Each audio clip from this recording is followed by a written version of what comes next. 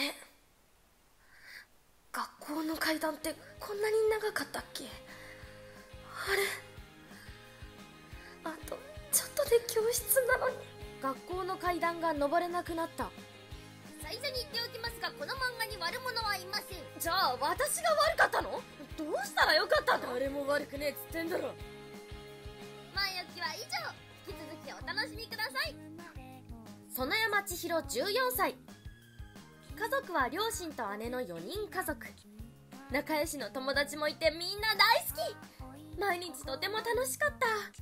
しかし突然ピリオド。来月から転勤になりました。予定転校です。姉号泣。でも私は平気だった。